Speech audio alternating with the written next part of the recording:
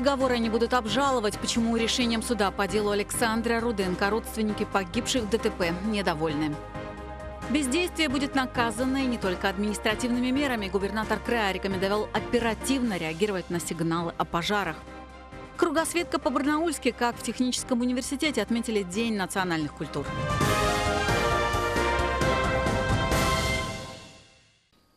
Вы смотрите наши новости в студии. Татьяна Голубева, здравствуйте. Приговор вынесен. Суд завершил последнее заседание по делу Александра Руденко, виновника ДТП, в котором погибли женщина и две маленькие девочки. Каким в итоге оказалось наказание и почему родственники погибших решением суда недовольны? В репортаже Андрея Дрейера. Если вам нечего сказать, это ваша позиция. Суд удаляется совещательную комнату для принятия решения по данному уголовному Руденко снова ничего не сказал. За все пять заседаний в зале суда от него услышали только несколько слов. Вот, например. Перед оглашением приговора суд зачитал все материалы дела. Родители погибших девочек были вынуждены все выслушать снова. Речи переломы левых малоперцовой и большеперцовой костей с влиянием окружающей мягкие ткани. Ссадины лобной, левой, надбровной, Пьяный Руденко проехал на несколько красных сигналов светофора со скоростью примерно 151 км в час. Заявленные потерпевшими гражданские иски удовлетворить частично. Общая сумма, которую Руденко должен будет выплатить пострадавшим, 16 миллионов. Это на 35 миллионов меньше, чем требовали изначально. Суд приговорил Руденко Александра Владимировича признать виновным в совершении преступления, предусмотренного частью 6 статьи 264 Уголовного кодекса Российской Федерации и назначить ему наказание в виде лишения свободы сроком на 8 лет 6 месяцев с лишением права заниматься деятельностью, связанной с управлением транспортных средств, на срок 3 года с отбыванием наказания в колонии поселения. Такой приговор родственники погибших справедливым не считают. Естественно, такой приговор меня не устраивает мы будем его обжаловать. Мы будем добиваться общего режима. Отбывающим наказание в колонии поселений может быть разрешено проживание со своими семьями даже за пределами колонии. Видимо, поэтому Руденко рад приговору. Если вычесть время, проведенное в СИЗО, где день идет за два, то отбывать наказание ему и вовсе семь с половиной лет. Убийца! Андрей Дриер, Николай Шелко. Наши новости. Кстати, президент России поставил задачу к 2024 году в России снизить статистику жертв ДТП. Не более 4 на 100 тысяч жителей. Об этом сообщил журналисту министр транспорта края Александр Дементьев. Именно поэтому ведомстве планирует оборудовать еще 7 комплексов автовидеофиксации. Один из них почти в центре Барнаула. Пытаемся в этом году поставить большой комплекс на пересечении, достаточно сложным. Это советской армии Павловский тракт строителей, поскольку там зачастую ежедневно водителями нарушаются правила проезда по трамвайным путям, еще по встречной полосе, и с учетом того, что там у нас еще и пассажиры ждут свой трамвай сообщил министр о том, сколько в Алтайском крае в этом году отремонтируют дорог по федеральному проекту. Так вот, их будет 900 километров. По словам Дементьева, в Барнаульской агломерации обновленных дорог должно стать больше на 5%, в Бийской на 7%. Кроме того, ремонт дорог может пройти и в рамках другого строительства – трассы Бийск-Абакан. По первому варианту дорога будет лежать через Целинное Ельцовку, это 160 километров на территории края, по второму через Артыбаш вдоль Биев в сторону Телецкого озера. А это потребует реконструкцию трассы. Министр заявил, что и в том, и в другом случае стоимость дороги составит 6 миллиардов рублей. Ну а сегодня комиссия во главе с тем же министром транспорта инспектировала дороги Первомайского района, которые были отремонтированы полгода назад в рамках проекта «Безопасные и качественные дороги». Какие недочеты выявлены и когда подрядчик будет их устранять, узнавала Валентина Аскерова. Мост, тротуары, освещение и дорогу протяженностью 15 километров отремонтировали в Первомайском районе полгода назад по приоритетному проекту «Безопасные и качественные дороги». До ремонта проезжая часть была в жутком состоянии. Автомобили тонули в лужах, а пешеходы в грязи. Чтобы привести дорогу в божеский вид, потребовалось около 180 миллионов рублей. Средства, по словам экспертов, не ушли впустую. Топить проезжую часть теперь точно не будет. Ремонт был выполнен качественно.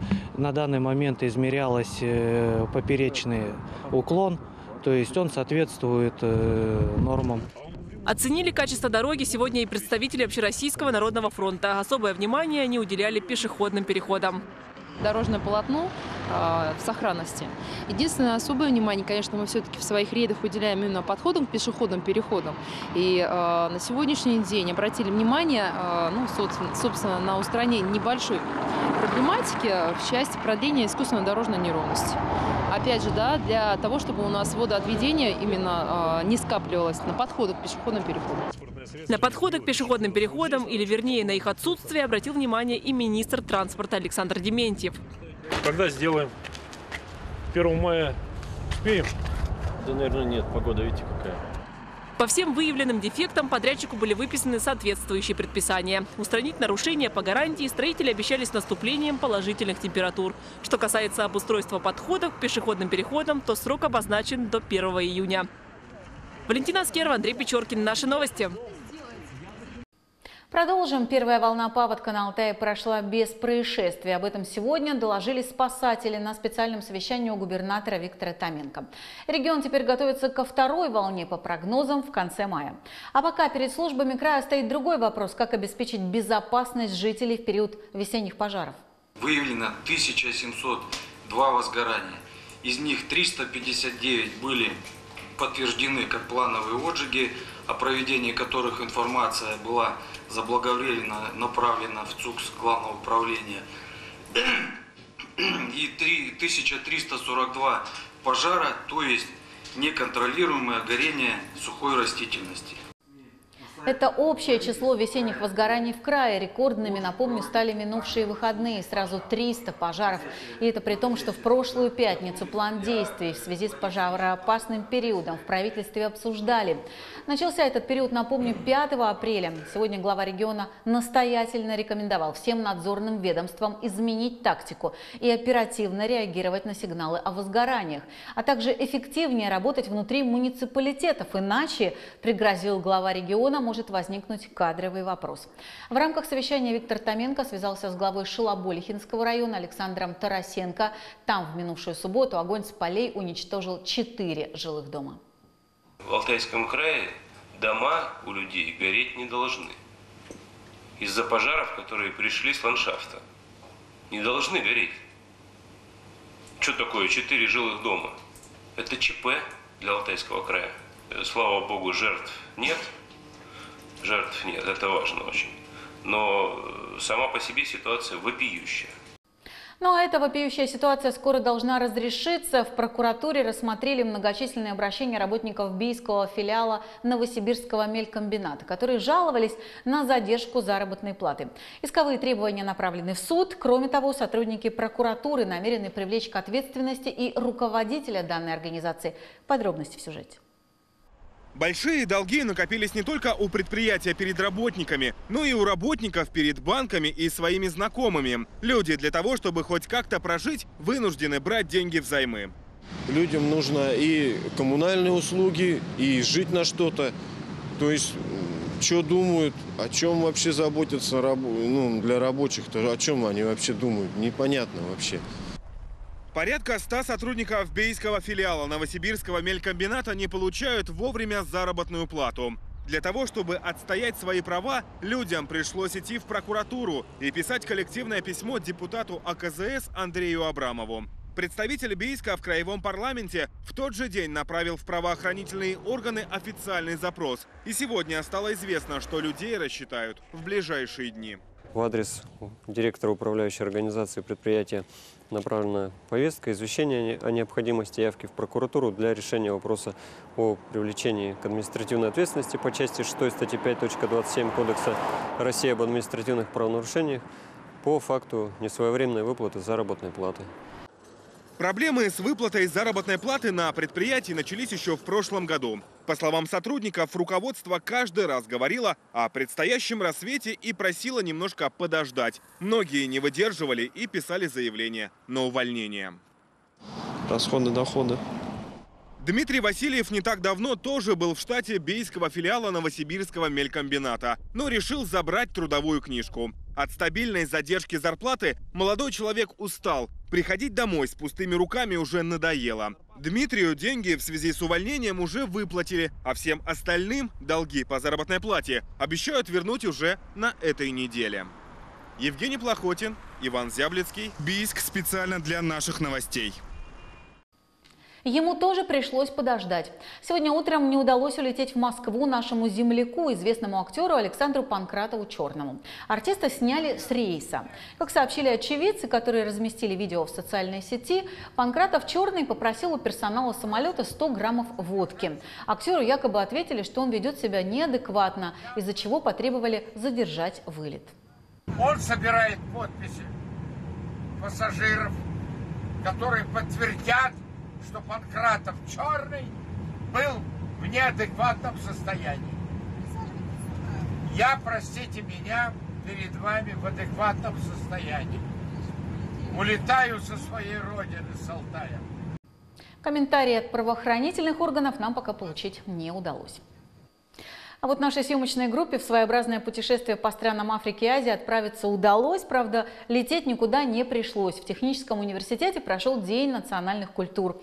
300 дружелюбных хозяев из 27 стран мира принимали гостей. Подробности у Дарьи Эйдемиллер.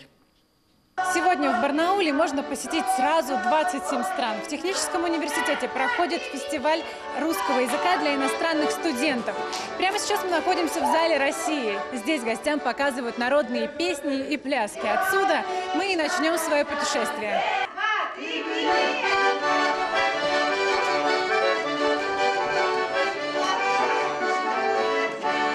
В некоторых странах гостям предлагают попробовать традиционные блюда и напитки. Во Вьетнаме гордятся кофе. Расскажите, чем вьетнамский кофе отличается от русского? А, Я думаю, крепкий, чем русский э, кофе.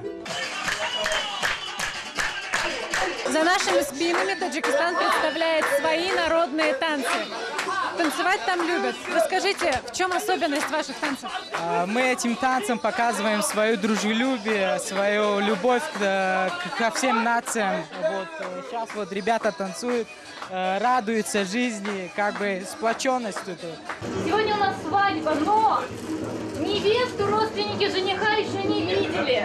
Позволить прикоснуться к лицу, показать лицо невесты позволялось только уважаемому кюше. Кюше – это исполнитель на дамбре. Дамбра – это национальный инструмент.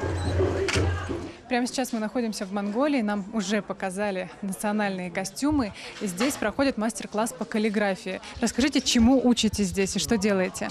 А сейчас мы здесь используем монгольского старой буквы, а еще написали а, наши новости по старомонгольскими буквами. Студенты сюда приехали, они осваивают нашу культуру, наш язык, наши традиции, изучают.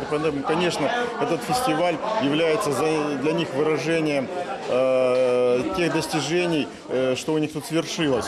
И, естественно, для них вот э, как раз это очень важно и очень интересно показать себя. Сегодня свои национальные особенности представили студенты медицинского, педагогического, классического и технического вузов. И у меня ощущение, будто я слетала в кругосветное путешествие, но из Барнаула вроде бы так и не выезжала. Дарья Демилев, Николай Шелко. Наши новости. Тем временем более 50 журналистов осваивают навыки автомехаников, строителей, кинологов, флористов, электромонтажников и даже вальщиков леса. В рамках конкурса «Журналист меняет профессию». Накануне представители СМИ отправились в Павловский район, в самую гущу леса, чтобы срубить деревья, которые отжили свой век. Наравне с мужчинами валила лес и главред комсомольской правды Барнаул Ольга Ведерникова. С бензопилой и на каблуках Ольга Ведерникова уже давно разрушила стереотип о том, что предназначение женщины стоять только у плиты. Помимо журналистики, она в совершенстве освоила такие профессии, как сварщик, плиточник, а теперь покоряет куда более мужскую специальность – вальщик леса. И вот ее первое заваленное дерево.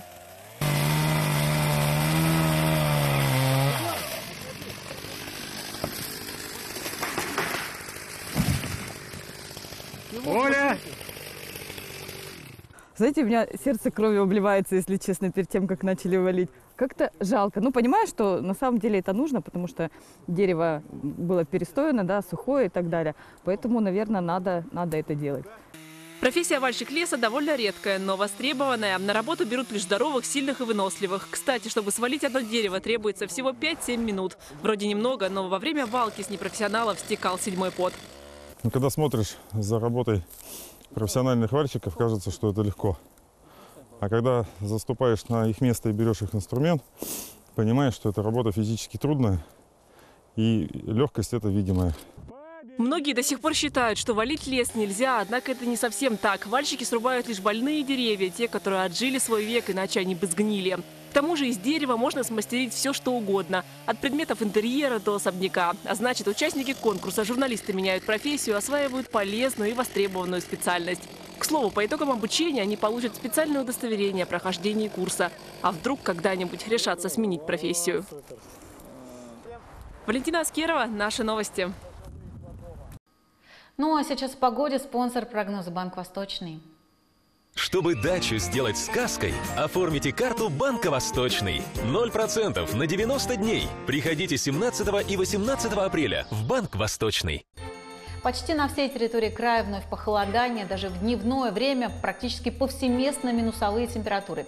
В Бийске и Белокурихе около 0, в Рубцовске, Заринске и Алейске минус 2, в Барнауле ночью пасмурно и до 2 со знаком плюс, днем до минус 5. Напоминаю, телефон редакции 722 440. У меня на этом все новости. До встречи.